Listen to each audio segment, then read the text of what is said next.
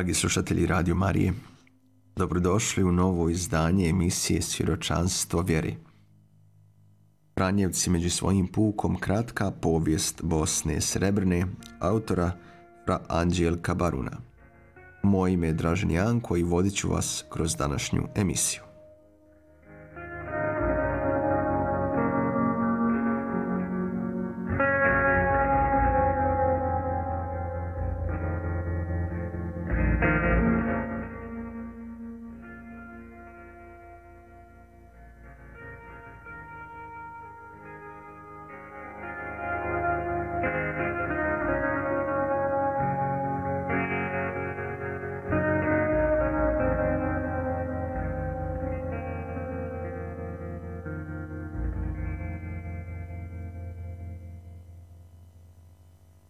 Današnjoj emisiji govorimo o diobi provinciji.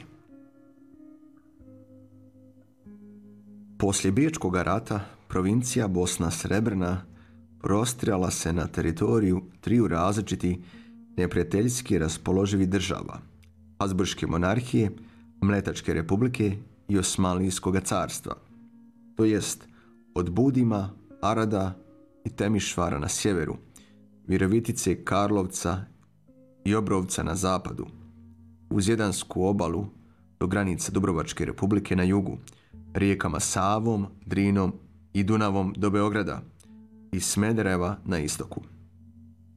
Bio je to teritorij 500 milja uzduž i u širinu ili 20 dana hoda. Provincija je tada u raznim biskupijama posluživala 24 župe pod Osmanlijskom, 39 pod Mletačkom i 43 pod Habsburškom vlašću. To je, uz već postojeće razlike u mentalitetu, otežavalo upravljanje i kretanje unutar provincije. Dovođeno je do upitanja redovito uzdržavanje i kaptula. Sva tri politička i crkvena središta, Rim, Beč i Venecija, priželjkivale su podjelu podjela bi najmanje odgovarala Franjevcima u Osmanlijskoj Bosni, koji su na podjelu gledali kao nenebarski i nepravdani čin.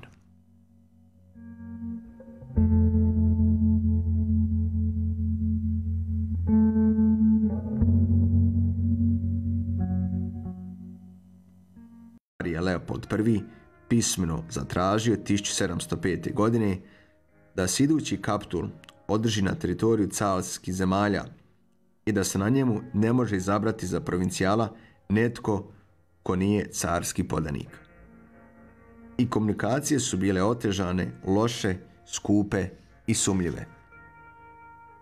Sva tri dijela provincije morala su svoj život i disciplinu usklađivati prema civilnim zakonima. To je stvaralo različite prakse i otežavalo razumijevanje i suradnju i fratri pod Osmanlijama uvidjeli su da je podjela potrebna. Svi su ipak željeli zadržati stečene povlastice koje je uživala Bosna Srebrna. Na kapitolu u Sinju 1711. godine, da bi sve tri strane bile zadovoljene, utvrđeno je način biranja u provincijsku upravu u kojoj moraju biti zastupljena sva tri dijela provincije. Ako je, provincijal iz jednoga dijela iz drugoga moraju biti provincijalski vikar, a iz trećega dvojica definitora. Svake se tri godine ciklično mijenjalo. Takav način biranja potvrdila je i propaganda kao uvjet valjanosti samoga izbora.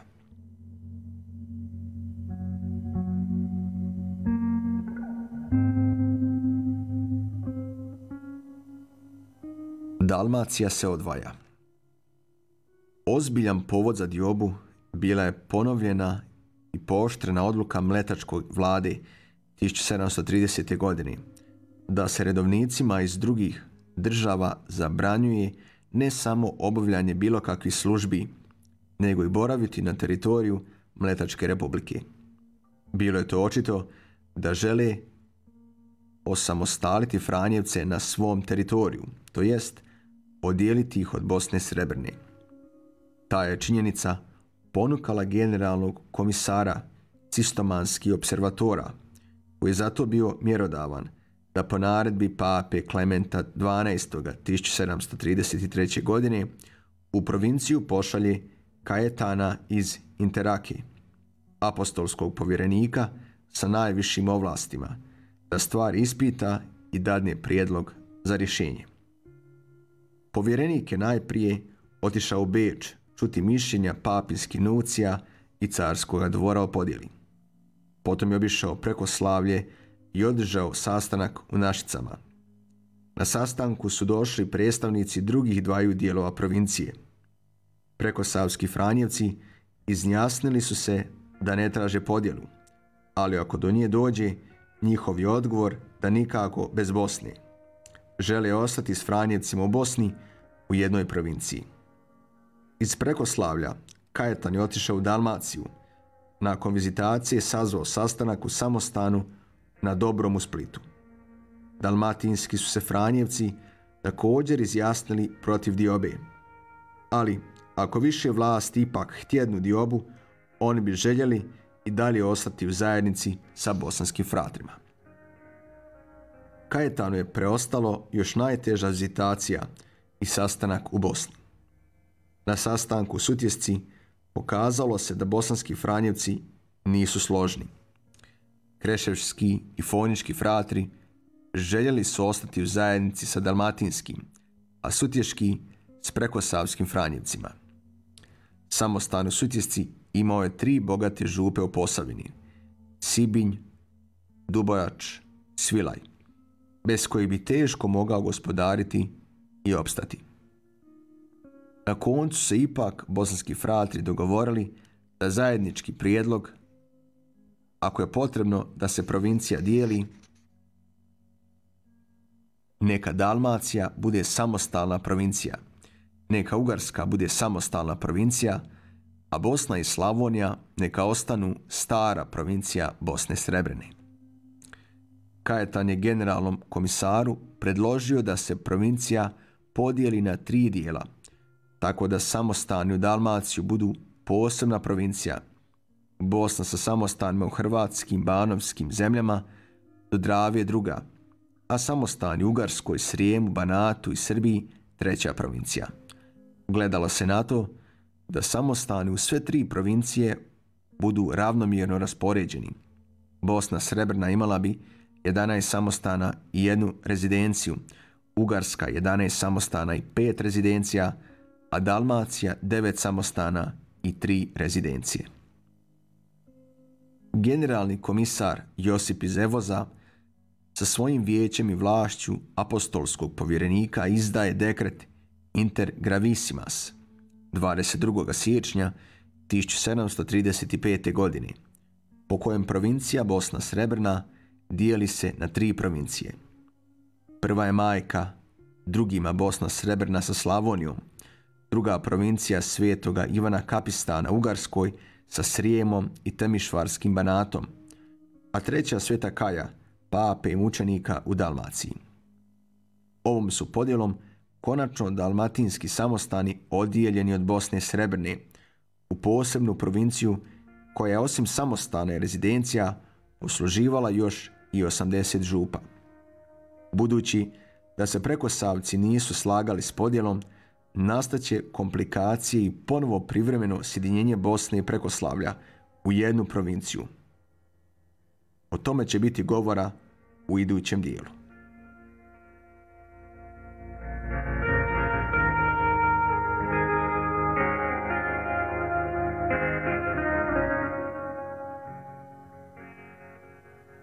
Nesuglasice među provincijama. Poslije podjele 1735. godine nastali su nesporazumi između bosanske i dalmatinske provincije. Dalmatinski su fratri bez znanja bosanski isposlovali od generalnog komisara dekret Kum Divisa, kojim se određuju promjene granica u slučaju da Hum, Duvno, Livno i Rama se oslobode osmanske vlasti. U dekretu stoji ako se sretnim razvojem prilika dogodi da istim područjima vlada kršćanski vladar, neka tamo nastupa provincija Svetoga Kaja. Tako da bude iste granice, to jest da obala rijeke Rami koja dijeli bosansku državu Dalmatinske odvaja i provinciju Bosnu Srebrne od provincije. Za taj dekret Filip Lastrić kaže prazan i orah stavljen za ručak i ražan pripravljen za pticu koja još leti. Mjerodavne crkvene vlasti spor nisu rješavale.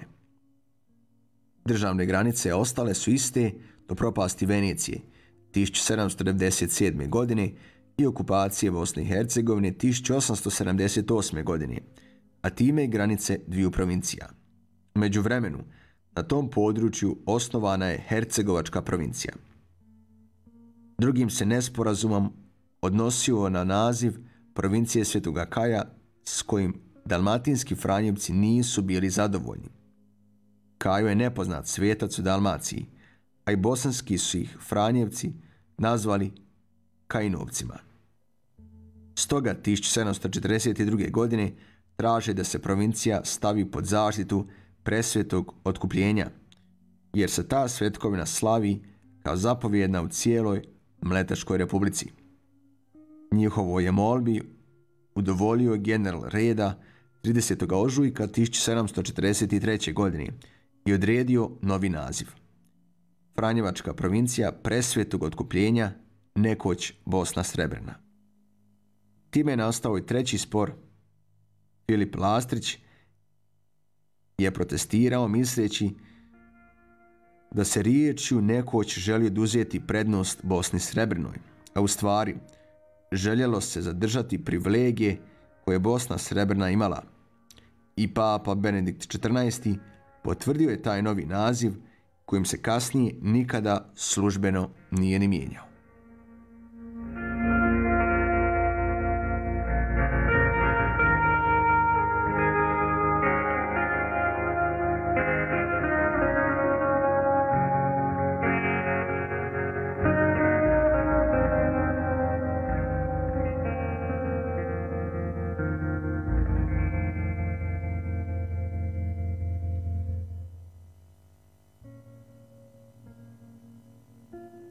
Prekoslavlje napušta Bosnu Srebrenu.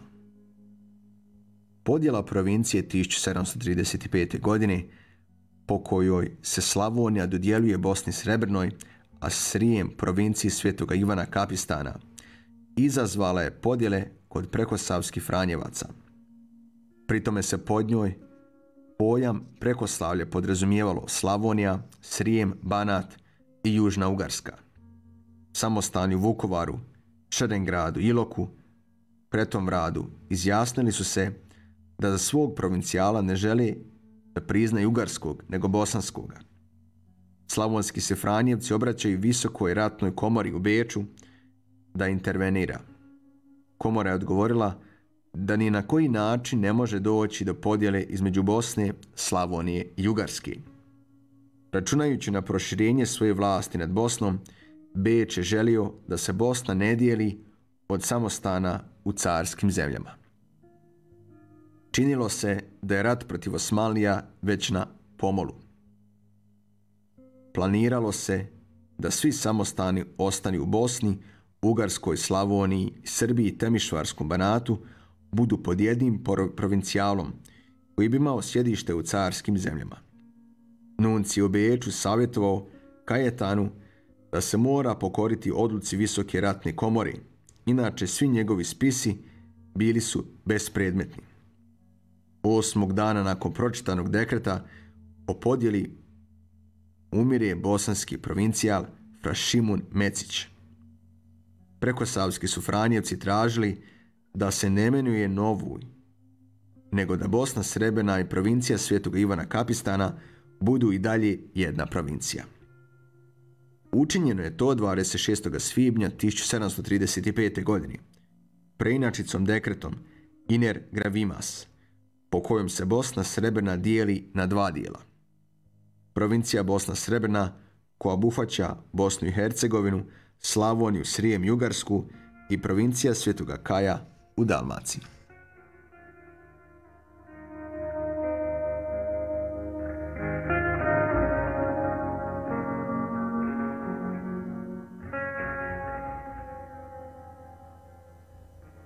Nezadovoljstvo bosanskih fratara. Bosna Srebrna i bez Dalmacije bila je prostorno veoma velika, od Budima do Čapljine. Ostali su uglavnom svi ranije problemi i teškoće vezani za veliki teritorij. Osim toga, Bečki je dvor dopustio biskupima da slobodno oduzimaju župe Franjevcima, kad god ih mogu ponuditi svjetovnim svećenicima. Tako su oduzete i one tri bogate župe Sutješkog samostana.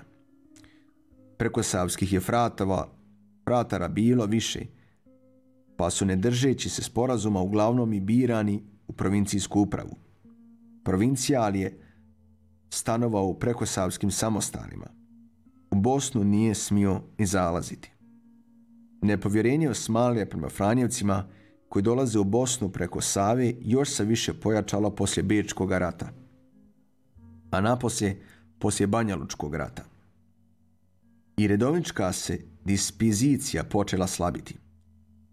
To je sve više zabranjivalo bosanske fratre, tako da su generalnu kapturu 1740. godine predložili da se preko Slavlje odvoji od Bosne Srebrne.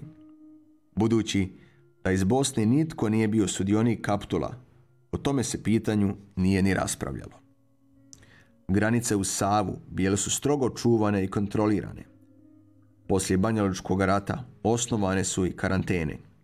Svatko tko želi proći preko Save mora probraviti u Saru 20 do 40 dana i doživjeti razne neugodnosti. Prekinuti su trgovački odnosi, pošta je strogo komunicirala.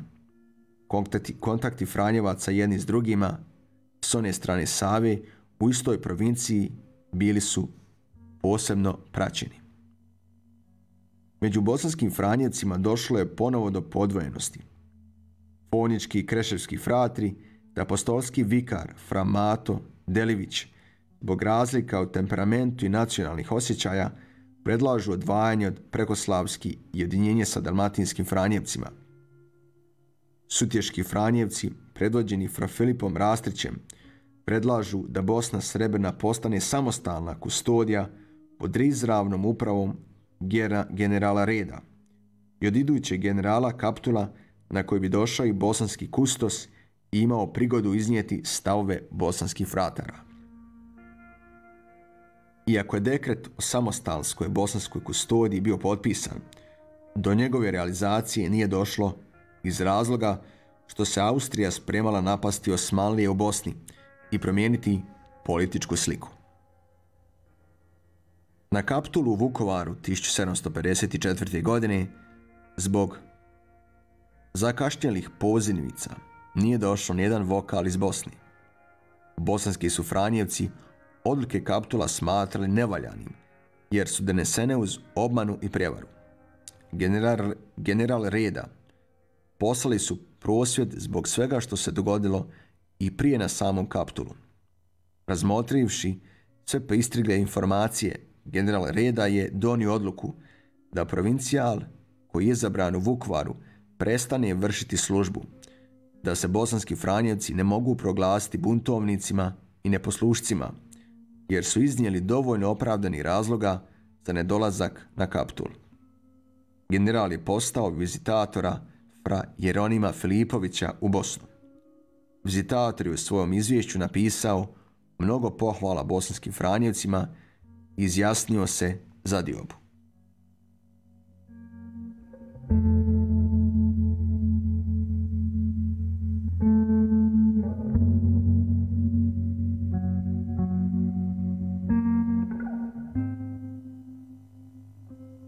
Provincija svetoga Ivana Kapistana Upravo u to vrijeme održavao se generalni kaptul u Španjolskoj. Izabran je novi generalni ministar Clement iz Palerma. U međuvremenu su u Rimu i Bosanskoj i Prekoslavskoj delegati obilazili kardinale i predlagali od kojih se očekivala pomoć.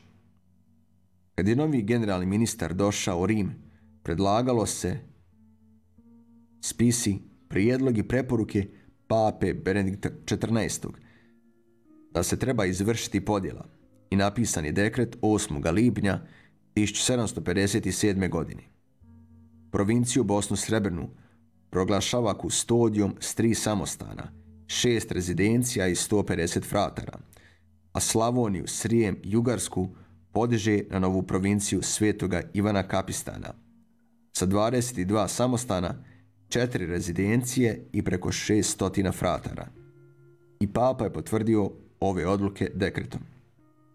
Bosanski Franjevci, razočarani ovom odlukom, šalju fra Filipa Lastrića u Rim s teškim zadatkom da general Reda promijeni svoj dekret, da papa povuče svoj pristanak i da se obnovi stara majka provincija Bosne Srebrni. Razlozi zbog kojih je Bosna Srebrna svedena na kustodiju uglavnom su tri. Nema dovoljno samostana, nema učilišta i tražila je podjelu. Lastrić je dokazao da svi razlozi nisu u cijelosti istiniti. Nepotpuna je informacija da Bosna Srebrna ima samo tri samostana i šest rezidencija. Samo zbog teških i neizdrživih poreza koje Osmalije nameću samostanima nije moguće rezidencije proglasiti samostanima. Kad bi Bosna dobila slobodu, u njoj bi se moglo podići više od 30 samostana, što od rezidencija, što od napuštenih samostana. Provincija nema odgojnih zavoda jer živi u tako teškim političkim okolnostima, ali poslužuje preko 50.000 katolika među nevjernicima. Zar to manje koristi crkvi i Franjevačkom redu od učilišta? Istina je da su bosanski Franjevci tražili podjelu, ali isto tako istina da su ugarsko-slavonski Franjevci radili potajno, ali mnogo djelotvornije da dođe do podjeli. Nužda je naredila bosanski Franjevci da traže podjelu, jer prekosavska braća nisu uopće dolazila u Bosnu, niti su bosanske fratre zvali na provincijske sastanke. Do svođenja Bosne Srebrne na kustodiju došlo je ne kao kazna, nego zbog nedovoljno informacija iz Bosne. Lastrićeva izjava bila je generalu Reda uvjerljiva i za papinsku kuriju prihvatljiva. Stoga, odobrenjem novoga pape Klementa XIII.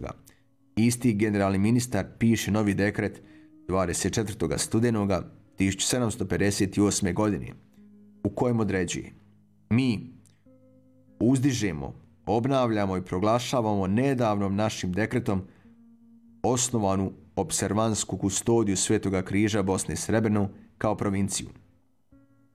Kao da onaj naš dekret iz 1757. godine nije nikad bio ni donesen. Tako provincija Svetoga Ivana Kapistana treba da dadne svojoj provinciji kao kći majci počasno mjesto i prednost. Potvrdila je to i papinska kurija. Tako se Lastić vati u Bosnu, dočekan je kao uskristelj provincije. Provincija je svedena na teritoriji Bosne i Hercegovine i postala je jedinstveni homogen, a većim se žarom posvetila svojoj osnovanoj zadaći, to jest duhovnom vodstvu i župnom pastoralu među vjernicima.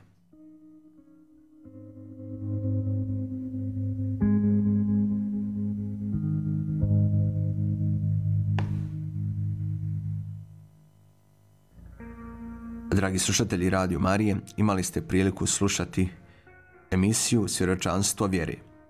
Franjevci među svojim pukom, kratka povijest Bosne Srebrne, autora Franđelka Baruna.